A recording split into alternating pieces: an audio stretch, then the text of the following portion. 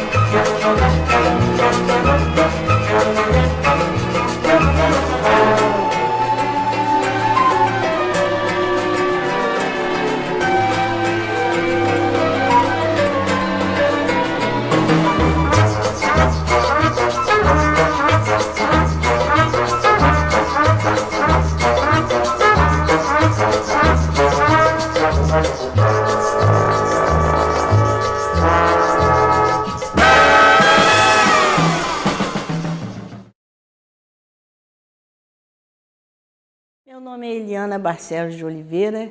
Eu sempre, quando falo do meu nome, digo com H e dois N's, né? Esse Eliana. Que virei, eu aqui perdi a minha identidade. Sou apenas, simplesmente Leninha. Eu acabei de completar o jubileu de prata de meio século. E aí tem muita estrada para contar, são 75 anos de estrada. E de amor pela minha cidade. Um amor muito grande. Um amor por tudo isso que nós estamos conversando. E nós pescávamos a piaba, a cará, a- o, o bagre e outras coisas mais, né? E não tinha engraçado crianças, mas nós não tínhamos medo do jacaré ali perto, chocando, né? É, Era aqueles jacarés enormes. E como não sabíamos assim a- o valor da preservação, esse cuidado, preservação vem de muito pouco tempo, né? Se eu tivesse feito disso aqui um campo de futebol para os meus netos, para os meus filhos, e aí a preservação fica como? Que moral teria? Como defender Restinga sem preservá-la? Eu tenho que dar o exemplo. Nós temos o Cuité, o Cuité, cada um fala de um jeito, eu nem sei mais como que se fala, que tira para fazer o binimbau. E as orquídeas, as coisas nós fomos colocando. A alméciga, o tronco, ela surge assim uma cera. Essa cera, no século XIX, aproveitava-se para, para sachê, para perfumar roupa. Para o incenso, na igreja tem um incenso feito com a cera da alméciga. Então são coisas assim, restinga para mim é um negócio meio, meio difícil de. é apaixonante. Quantas, quantos campos de futebol, vamos medir dessa forma, foram destruídos, a, a Restinga foi destruída de uma maneira assim muito. E tem uma curiosidade: a, a primeira mesmo foi a usina Engenho Central, porque a lenha que alimentava as caldeiras da usina saíam da Restinga. Tanto é que nós temos ali no mapa um, um, uma palavra rasgo. Vamos brincar no rasgo. foram tirando areia, areia para construção, né? E, e também a vegetação, e com isso formou um grande lago que nós chamávamos de rasgo. A usina tem a moagem e a reparação, né? Que é quando vai limpar. Na limpeza, retirava-se da parede da caldeira essas pedras, com essa coloração. E eram assim, tá vendo?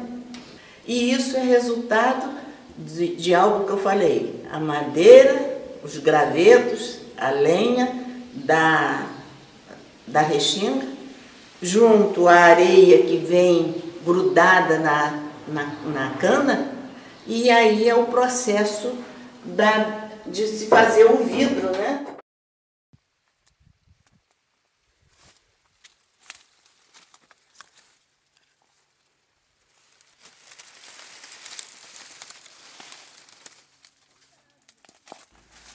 Carmo Engenho era o grande centro socioeconômico de Quissamã, a usina, que tudo girava em torno da usina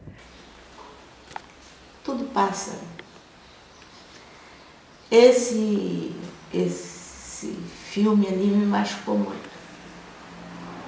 Eu não sabia que estivesse tão ruim, ah, que já houvesse sido vendido tanta coisa dali.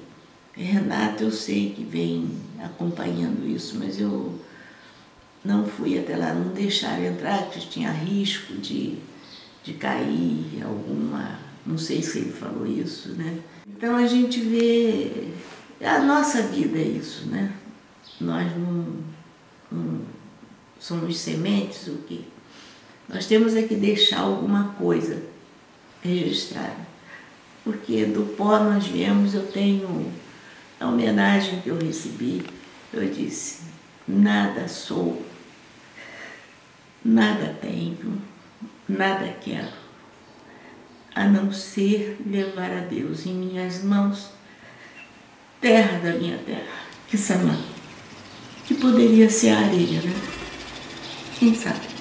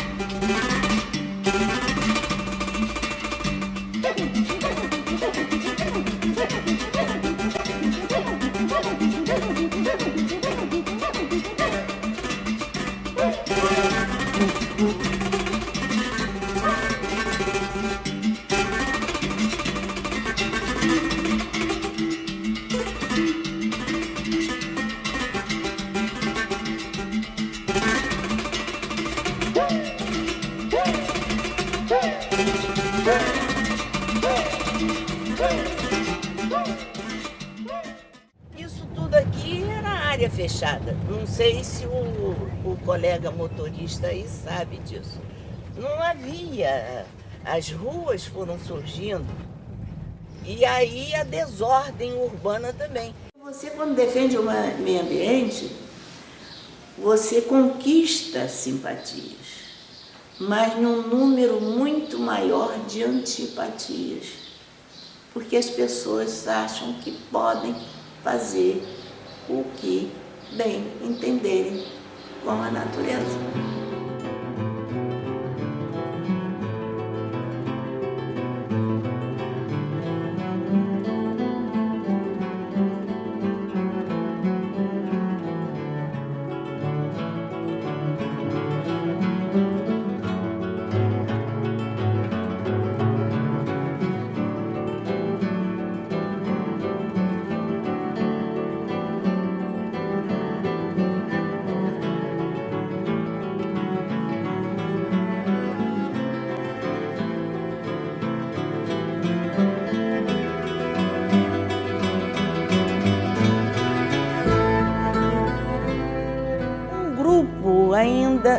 Não, não tiveram assim noção da importância, da grandiosidade que é esse parque. Eu acho, muita gente.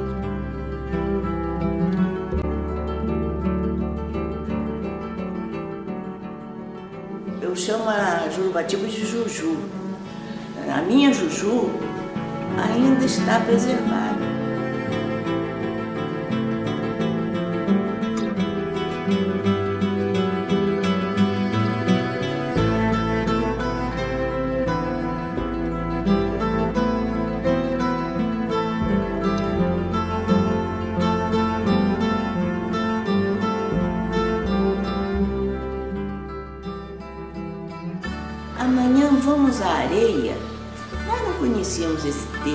Restinga. Era vamos à areia. E na realidade é areia mesmo.